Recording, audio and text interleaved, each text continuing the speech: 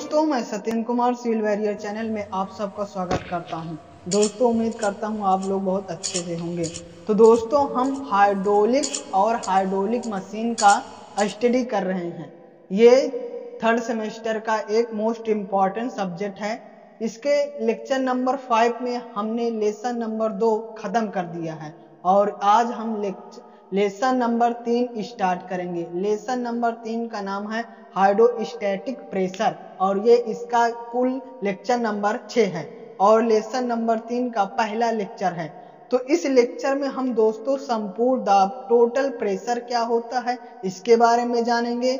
फिर दूसरा टॉपिक जानेंगे, दाब तीव्रता या फिर दाब प्रेशर इंटेंसिटी या फिर प्रेशर के बारे में जानेंगे। दूसरा, तीसरा टॉपिक हम जानेंगे द्रव के अंदर दाब तथा गहराई में संबंध। प्रेशर इन लिक्विड और relation between pressure and depth तो ये तीन टॉपिक दोस्तों हम इस लेक्चर में जानेंगे।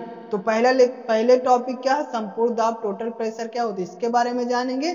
और दूसरा टॉपिक है दाब तीव्रता या दाब, और तीसरा है द्रव के अंदर दाब तथा गहराई में संबंध। दोस्तों, यह लेक्चर बहुत इंपॉर्टेंट है क्योंकि द्रव के अंदर दाब तथा गहराई में संबंध, ये टॉपिक बहुत इंपॉर्टेंट है। तो दोस्तों स्टार्ट करते हैं। सबसे पहले संपूर्ण दाब टोटल प्रेशर क्या होता है, इसके बारे में जानते हैं। तो दोस्तों लेसन नंबर तीन, द्रव स्थितिकी दाब हाइड्रोस्टैटिक प्रेशर इसके बारे में आज पढ़ेंगे दोस्तों। तो दोस्तों, इसका सबसे पहला टॉपिक है संपूर्ण दाब टोटल प्रेशर क्या होता है? इसके बारे में जानते हैं। नाम से ही पता होता है, संपूर्ण मतलब कुल, यानी पूरा जितना होता है, उसके दाब के बारे में जानेंगे। किसी तरल द्वारा किसी सतह पर लगाया गया कुल बल, उस तरल का सतह पर संपूर्ण दाब टोटल प्रेशर कहलाता है। इसको समझते हैं दोस्तों। किसी तरल द्वारा तरल द्वारा किसी सतह पर किसी कोई भी एक कंटेनर है या फिर कोई भी पात्र है, उस पर जो भी तरल है, उस तरल द्वारा उसके सतह पर, उसके सतह पर जो भी दाब लगाया जाएगा, उसे टोटल प्रेशर कहलाता है। तो इस चीज़ को समझते हैं, किसी तरल द्वारा किसी सतह पर लगाया गया कुल बल मतलब जो भी लिक्विड द्रव है, उसके द्वारा जो भी उस सतह पर बल लगाया जाता है, उस तरल का सतह पर संपूर्ण दाब टोटल प्रेशर कहलाता है। यह बल सतह के लंबवत कार्य करता है। जो बल होता है लिक्विड का, द्रव का, वह सतह के लंबवत कार्य करता है। यह संपीडन कंप्रेसिव प्रकृति का होता है। फिर है कुल दाब को पी से प्रदर्शित करते हैं दोस्तों। कुल दाब को पी से प्रदर्शित करते हैं। संपूर्ण दाब पी की इकाई एस आई प्रणाली इंटरनेशनल सिस्टम प्रणाली में इसका मात्रक न्यूटन होता है। तो दोस्तों, संपूर्ण दाब क्या होता है इसके बारे में आपको हम समझा रहे हैं। तो संपूर्ण दाब क्या होता है? किसी तरल द्वारा, किसी सतह पर संपूर्ण दाब किसी तरल द्वारा, किसी सतह पर लगाया गया कुल बल उस सतह का संपूर्ण दाब कहलाता है टोटल प्रेशर कहलाता है। तो टोटल प्रेशर को किससे प्रदर्शित करते हैं? टोटल प्रेशर को पी से प्रदर्शित करते हैं। इसका मात्रक क्या होता है? इसका मात्रक न्यूटन होता है। और यह कौन सा बल यह बल सतह के लंबवत सरफेस के लंबवत कार्य करता है। और यह संपीडन कंप्रेसिव प्रकृति का होता है। उम्मीद करते हैं आपको संपूर्ण दाब टोटल प्रेशर क्या होता है, समझ में आ गया होगा दोस्तों। अब हम अगला टॉपिक के बाद में बात करेंगे दोस्तों।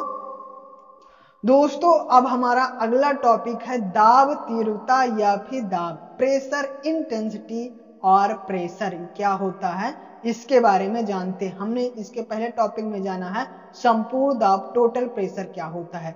टोटल प्रेशर में क्या होता है किसी तरल के किसी सतह पर, उसमें तरल द्वारा जो लगाया जाता है संपूर्ण बल, वही सतह का संपूर्ण दाब टोटल प्रेशर कहलाता है। अब हम जानते हैं, दाब तीव्रता या फिर दाब प्रेशर इंटेंसिटी और प्रेशर किसी सतह के इकाई क्षेत्र फल पर तरल द्वारा लगने वाले बल को दाब तीव्रता या फिर अपेक्षिक दाब स्पेसिक प्रेशर या फिर इकाई दाब यूनिट प्रेशर कहते हैं। टोटल प्रेशर में क्या हो दोस्तों? संपूर्ण दाब। संपूर्ण दाब सतह पर लगता है, मगर इसमें दाब तीव्रता या फिर टोटल दाब तीव्रता या फिर दाब प्रेशर प्रेशर इंटेंसिटी में क्या होता है? सतह के इकाई क्षेत्र इकाई यही इंपॉर्टेंट है सबसे दोस्तों दोस्तों। इकाई क्षेत्रफल पर तरल द्वारा लगने वाले बल को दाब तीव्रता या अपेक्षित दाब स्पेसिफिक प्रेशर या फिर इकाई दाब यूनिट प्रेशर कहते हैं। बस दोस्तों, इसमें क्या अंतर है? इसमें होता है इकाई क्षेत्र पर उसमें क्या होता है? संपूर्ण सतह पर। उसमें क्या होता है? संपूर्ण सतह। इसमें होता है कि इकाई क्षेत्रफल पर लगने वाले दाब को दाब को तीव्रता या फिर अपेक्षिक स्पेसिक प्रेशर इसका एक नाम है, या फिर इकाई दाब यूनिट प्रेशर कहें यह होता है इसका नाम। फिर है, इसे भी, इसे पी से प्रदर्शित करते हैं। उसको भी पी से प्रदर्शित करते हैं। इसे कहीं कहीं आपको दिखता है, स्मॉल पी से प्रदर्शित कहेगा और कहीं कहीं अलग अलग तो इसे स्मॉल पी से प्रदर्शित करते हैं। माना किसी सतह के, सतह का ए क्षेत्रफल पर कुल दाब बल, कुल दाब का बल एफ़ है। आप देखिए दोस्तों, इसमें कहीं प्रेजेंट अलग अलग करेगा, कहीं पी करेगा कैपिटल बी तो हम एफ़ से प्रदर्शित कर रहे हैं, बल को एफ़ से प्रदर्शित करते हैं। तो फिर से, इसे पी से प्रदर्शित करते हैं, माना किसी सतह के ए क्षेत्र पर कुल दाब बल एफ़ है तो सतह पर दाब P बराबर एफ़ अपान ए होता है। दोस्तों, ये कहीं कहीं कैपिटल P देगा, कहीं स्मॉल p देगा तो आप जैसे मर्ज़ी, हमने P से प्रदर्शित किया है और फोर्स को F से प्रदर्शित करता है, कहीं आपको कैपिटल P भी दिखेगा। तो ए है तो इसको हमने जो प्रदर्शित किया हमारे हिसाब से, आप भी प्रदर्शित करिए। P बराबर एफ़ अपॉन ए इसका मात्रक न्यूटन प्रति मीटर स्क्वायर होता है। इसका मात्रक क्या होता है दोस्तों? न्यूटन प्रति मीटर स्क्वायर होता है। एक बार फिर से आपको रिवीजन कराते हैं, दाब तीव्रता या फिर दाब क्या होता है? किसी सतह के इकाई क्षेत्र, ये इंपॉर्टेंट है दोस्तों, किसी सतह के इकाई क्षेत्रफल पर तरल द्वारा लगने वाले बल को दाब तीव्रता या फिर अपेक्षित दाब स्पेसिफिक प्रेशर या इकाई दाब यूनिट प्रेशर कहते हैं। इसे पी से प्रदर्शित करते हैं। फिर हमने माना किसी सतह के ए क्षेत्र पर कुल दाब का बल एफ़ है तो उस सतह पर दाब पी बराबर एफ़ अपाने होगा इसका मात्रक न्यूटन प्रति मीटर। ये आपको कहीं अलग अलग प्रेजेंट किया जाएगा। आप उसको आप समझे। हमने P P को प्रदर्शित किया एफ़ से और ए से प्रदर्शित किया। फिर है एस आई प्रणाली में दाब तीव्रता का मात्रक एस आई इंटरनेशनल सिस्टम में दाब तीव्रता का, या फिर यूनिट प्रेशर का, या फिर स्पेसिफिक प्रेशर का, इसका तीन नाम है। आप कहिए प्रेशर इंटेंसिटी कहिए या फिर स्पेसिफिक प्रेशर कहिए या फिर यूनिट प्रेशर कहिए, तीन नाम है। इसका मात्रक न्यूटन प्रति एम एम स्क्वायर या फिर न्यूटन प्रति मीटर स्क्वायर होता है। या फिर सबसे इंपॉर्टेंट पास्कल होता है। आप सीधा सीधा बताइए कि दाब का मात्रक पास्कल होता है या फिर न्यूटन प्रति मीटर स्क्वायर होता है। इसे पी ए से प्रदर्शित करते हैं। ये दोस्तों इंपॉर्टेंट है, इसे पी ए से प्रदर्शित करते हैं। सीजीएस प्रणाली में दाब तीव्रता का मात्रक डाइन प्रति सेंटीमीटर स्क्वायर होता है। डाइन न्यूटन उसमें डाइन में सेंटीमीटर में डाइन सीजीएस में चेंज हो जाएगा और मीटर को सेंटीमीटर में चेंज हो जाएगा। और फिर क्या है ये थोड़ा इंपॉर्टेंट है, कुछ न्यूमेरिकल वैल्यू के लिए एक किलो पास्कल बराबर एक हज़ार न्यूटन प्रति एम एम, एक हज़ार न्यूटन प्रति मीटर स्क्वायर और एक बार बराबर सौ किलो पास्कल या फिर, सौ किलो पास्कल या फिर, दोस्तों क्या होता है, सौ किलो पास्कल, एक बार बराबर सौ किलो पास्कल या फिर दस घाते पाँच न्यूटन प्रति मीटर स्क्वायर होता है। तो ये दोस्तों न्यूमेरिकल के दृष्टि से बहुत महत्वपूर्ण है। आप इसको ध्यान दीजिए। सीजीएस में दाब तीव्रता का मात्रक डाइन प्रति सेंटीमीटर स्क्वायर है। ये इंपॉर्टेंट नहीं मगर ये एक किलो पास्कल बराबर एक हज़ार न्यूटन प्रति मीटर स्क्वायर और एक बार बराबर एक हज़ार सौ किलो पास्कल या फिर दस घाते पाँच न्यूटन प्रति मीटर स्क्वायर ये दोस्तों बढ़ तो उम्मीद करते हैं आपको दोस्तों दो टॉपिक संपूर्ण दाब टोटल प्रेशर तथा दाब तीव्रता या फिर दाब प्रेशर इंटेंसिटी या फिर प्रेशर आपको समझ में आ गया होगा दोस्तों। दोस्तों, अब हमारा अगला टॉपिक है द्रव के अंदर दाब तथा गहराई में संबंध। किसके अंदर? दाब प्रेशर प्रेशर तथा गहराई डप्थ में संबंध। प्रेशर इन लिक्विड और relation between pressure and depth तो इसको जानते हैं दोस्तों, जब किसी तरल को बर्तन में रखा जाता है, तब यह बर्तन की दीवारों पर दाब लगाता है।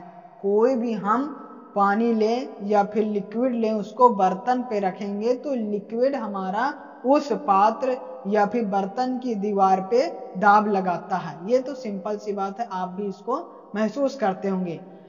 फिर क्या है, अतः सभी तरल अपने भार के कारण दाब लगाते हैं। क्यों लगाते हैं? क्योंकि कोई भी तरल होता है लिक्विड होता है उसके खुद के भार के कारण होता है। अतः द्रव के अंदर अतः द्रव के अंदर किसी बिंदु पर दाब अतः द्रव के अंदर किसी बिंदु पर दाब उस बिंदु के ऊपर द्रव के भार के कारण होता है। क्यों होता है? कि, किसी बिंदु पर दाब उस बिंदु के ऊपर द्रव के भार के कारण होता है। ये था कुछ महत्वपूर्ण शब्द। क्या कह रहे हैं? सभी तरह अपने भार के कारण दाब लगाते हैं, अतः द्रव के अंदर किसी बिंदु पर दाब, उस बिंदु के ऊपर द्रव के भार। किसके कारण? द्रव के भार के कारण होता है। अब इसका हम डेरिवेशन करेंगे। माना किसी बेलनाकार, माना किसी बेलनाकार बर्तन में एच ऊंचाई तक एच ऊंचाई तक द्रव भरा है। एच ऊंचाई तक, आप फिगर देखिए दोस्तों, कह रहा है, माना किसी बेलनाकार बर्तन में एच ऊंचाई तक द्रव भरा है, जिसका घनत्व जिसका घनत्व रो है, जिसका घनत्व रो है, और आपेक्षिक भार W तथा बेलन की तली का क्षेत्रफल A और गुत्ती त्वरण G है। और दोस्तों गुरुत्ती त्वरण G है तो गुरुत्ती त्वरण G है तो द्रव के भार के कारण, वही बात जो ऊपर कह रहे हैं कि उसके भार के कारण दाब लगता है तो वही कह रहे हैं। तो द्रव के भार के कारण, किसके कारण? द्रव के भार के कारण तड़ी पर लगाया गया बल, कुल भार डब्लू क्या होगा? उसका जो द्रव्यमान होगा, देखिए दोस्तों, उसका जो कुल भार कहें या फिर कुल बल कहें, वही बात है। क्योंकि हम ऊपर देख रहे हैं, यही कह रहा है कि सभी तरह अपने भार के कारण दाब लगाते हैं और द्रव के अंदर किसी बिंदु पर दाब उस बिंदु के ऊपर द्रव के भार के कारण होता है। जो भी भार लगता है, द्रव के भार के कारण होता है। तो कह रहे हैं तो माना किसी बेलनाकार बर्तन में एच ऊंचाई तक द्रव भरा है, ये एच ऊंचाई तक बर्तन में भरा है, जिसका घनत्व रो है और आपेक्षिक भार डब्लू है। कौन वाला डब्लू स्मॉल डब्लू तथा बेलन की तली का क्षेत्रफल ए है और वृत्ति त्वरण जी है। तो द्रव के भार के कारण, किसके कारण? द्रव के भार के कारण तली पर लगाया गया बल या फिर कुल भार डब्लू हो। लेट करें हैं। कैपिटल डब्लू तो डब्लू बराबर एफ़ एम इंटू जी आप सीधा सीधा जानते हैं। भार बराबर क्या होता है? भार बराबर द्रव्यमान गुणे गुरुत्व त्वरण होता है। तो W बराबर एम इंटू जी अब हम क्या करेंगे? हम जानते हैं दोस्तों, घनत्व बराबर क्या होता है? द्रव्यमान अपान आयतन होता है। घनत्व को रो से प्रदर्शित करते हैं और द्रव्यमान को एम से और आयतन को वी से। तो m बराबर निकाल हैं हम, क्योंकि यहाँ इसको हटाएँगे m को। तो m बराबर हमने निकाला तो रो इंटू वी तो m बराबर rho into A into h V का है वॉल्यूम है तो इसका हम वॉल्यूम कैसे निकालेंगे? एरिया है, और एच निकाल लेंगे, उसमें क्या है? लंबाई गुड़े चौड़ाई गुड़े ऊंचाई तो लंबाई और चौड़ाई। ए हो गया, और ऊंचाई एच हो गया। तो एम बराबर rho into A into h तो उम्मीद करते हैं आपको यहाँ तक समझ में आया। तो हम क्या कर रहे हैं दोस्तों? द्रव के भार के कारण तली पर लगाया गया कुल भार या फिर कुल बल, क्योंकि हम जानते हैं जब कोई भी द्रव किसी सतह पर लगेगा तो एक बल लगाता है। तो उस बल को हम निकाल रहे हैं दोस्तों।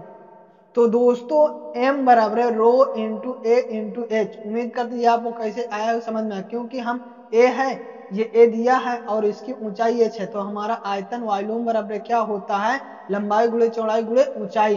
तो लंबाई चौड़ाई ए हो गया और कद ऊंचाई एच हो गया। तो हम जो कुल बल कहें या फिर कुल भार निकाल रहे थे कैपिटल डब्ल्यू बराबर एम के स्थान पे, किसके स्थान पे? एम के स्थान पे rho into A into h into g g वाला ये ये समीकरण एक हमने मान लिया दोस्तों। अब देखते हैं, बर्तन की तली पर कुल दाब। हमने पहले क्या निकाला? कि द्रव के कारण, द्रव के कारण कुल भार या फिर कुल बल निकाला। तो अब हम निकालने बर्तन के तली पर कुल दाब। टोटल प्रेशर कितना लगेगा? तो वही हम जानते हैं, कोई अन्य तो है नहीं। जितना वो द्रव के कारण लगेगा, वही उसका वो दाब बन जाएगा। तो P बराबर डब्ल्यू कैसे हुआ दोस्तों? मान लीजिए, ये कह रहे हैं कि एक कोई कंटेनर है या फिर कोई एक पात्र है, उस पात्र में पहले द्रव के कारण, जो भी हमने द्रव डाला, उसके कारण कितना प्रेशर आएगा, उसका हम निकाल रहे हैं। तो जितना हमने द्रव के कारण निकाला, फिर उस तली पर निकाल रहे हैं, उस तली पर कितना लग रहा है? तो जितना द्रव का भार या फिर दाब होगा, वही तो तली पर लगेगा। तो वही है, बर्तन की तली पर कुल दाब टोटल प्रेशर P बराबर डब्ल्यू हो गया। तो दाब तीव्रता हम लोग अभी पढ़े हैं। दाव तीव्रता को आप कहीं P से प्रदर्शित करेंगे। यहाँ W हो गया, क्योंकि इसका हमने बताया कि कैसे हुआ है, क्योंकि जो द्रव के कारण लग रहा है, वही तली पर, वही उसी का कुल दाब बराबर होगा। या फिर F से कहीं प्रदर्शित करते हैं और यहाँ W है। तो P ये लिखे या फिर W लिखे या फिर F लिखे बात वही बराबर है। और एरिया ये है हमारा। तो P बराबर समीकरण एक से हमने क्या रहा? W बराबर यहाँ हम लिख रहे हैं। W बराबर rho into A into h into g तो ये हमने रख दिया rho into A into h into g A A से कट गया। तो P बराबर यानी दाब तीव्रता या फिर प्रेशर इंटेंसिटी बराबर क्या हमारा आ गया? Rho into g into h ये सबसे इंपॉर्टेंट दोस्तों हमारा फार्मूला आ गया। तो उम्मीद करते हैं आपको द्रव के अंदर दाब तथा गहराई में संबंध यहाँ तक समझ में आ गया होगा दोस्तों। सिर्फ़ हमने क्या किया है? पहले हमने द्रव के कारण भार या फिर बल निकाला है, हमारा कितना आया है? भार बराबर हम बचपने से जानते हैं। दोस्तों, m इंटू जी होता है। M बराबर हमने क्या किया? M बराबर फार्मूला वो वाला लगाए घनत्व और द्रव्यमान वाला। तो घनत्व हमने रो मान लिया और द्रव्यमान m मान लिया, v मान लिया। तो m बराबर हमने निकाला रो इंटू वी लिखा। तो एक कहते v के स्थान पे हमारा लंबाई गुड़े चौड़ाई गुड़े ऊंचाई की ज़रूरत होती है। तो a बराबर हमारी लंबाई गुड़े चौड़ाई हो गया और ऊंचाई ऊंचाई h हो गया तो फिर बर्तन के तली पे कुल दाब, यहाँ जो कुल दाब लगेगा वही कुल जितना द्रव का रहेगा दाब, वही तली पे लगेगा तो P बराबर डब्ल्यू अपान P बराबर डब्ल्यू हो गया, यानी वेट W हो गया तो दाब तीव्रता P बराबर हमने P डब्ल्यू एफ़ चाहे आप जिससे दर्शाएँ, हमने W इसमें P बराबर W हो गया, और या फिर आप पहले ही बताइए चाहे F से प्रदर्शित करें तो P बराबर समीकरण एक से rho into A into h into g हो गया तो फिर पी बराबर rho g into h A cut गया, ये आ गया दोस्तों इंपॉर्टेंट फार्मूला तो अब इसके बारे में जानते हैं और क्या हुआ। दोस्तों हमारा फार्मूला आ चुका है, क्या फार्मूला है? रो, आया है पी बराबर रो जी इंटू एच यही इंपॉर्टेंट है दोस्तों। फार्मूला आप इसको आपको भूलिए ना। रो पी बराबर rho g rho g into rho g into h rho g into h rho g h rho g h आपको रट लेना चाहिए रो जी एच रो जी एच तो इससे निष्कर्ष क्या निकलता है? अतः निष्कर्ष पता चलता है कि द्रव के अंदर, क्या? द्रव के अंदर किसी बिंदु पर दाब तीव्रता दाब तीव्रता, टोट, प्रेशर इंटेंसिटी द्रव के घनत्व घनत्व को किसको प्रदर्शित करते रो, गुरुत्व, त्वरण जी तथा उस बिंदु की द्रव तल से गहराई एच के गुणनफल के बराबर होता है। ये हमने जो निकाला, वही सीधा सीधा लिख दिया। पी बराबर रो जी एच रो जी एच आप रख लीजिए। रो जी एच पी बराबर रो जी एच फिर क्या, दूसरा हम क्या जाने किसी बिंदु पर दाब तीव्रता पी उस बिंदु की द्रव तल से गहराई के समानुपाती होता है। जितना ज़्यादा प्रेशर होगा, उतनी ज़्यादा हाइट होगी। प्रोपोर्शनल मतलब ये पी बढ़ेगा तो एच भी बढ़ेगा। किसी बिंदु पर दाब तीव्रता पी उस बिंदु की द्रव तल से गहराई के समानुपाती होता है। ये हमने दो दो निष्कर्ष निकाला। तीसरा निष्कर्ष क्या होता है? किसी बिंदु पर दाब तीव्रता, प्रेशर इंटेंसिटी उस तरल के आपेक्षिक भार आपेक्षिक भार को स्मॉल डब्लू तथा द्रव तल से गहराई एच के गुणनफल के बराबर होता है। P बराबर रो जी एच रो जी एच इस पर P बराबर रो जी एच तो P बराबर W बराबर हम जानते हैं। लेसन नंबर दो में पढ़े थे, आपेक्षिक भार बराबर स्पेसिक वेट बराबर रो इंटू जी होता है।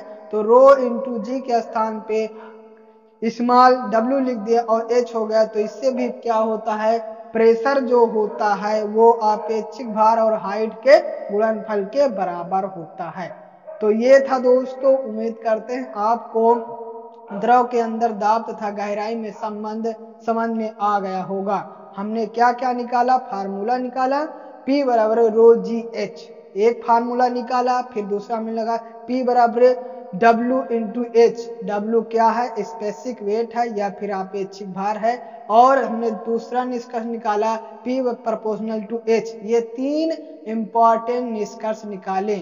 तो दोस्तों, यह लेक्चर यहीं समाप्त करते हैं। यदि यह लेक्चर आपको अच्छा लगा हो तो इस लेक्चर पे लाइक कर दीजिए चैनल को सब्सक्राइब करना ना भूलिए। और दोस्तों, में भी शेयर कीजिए और बेल आइकन के आल पर क्लिक कर दीजिए, जिससे हम कोई भी वीडियो डालें तो आपको सबसे पहले पहुँचे। Thank you for watching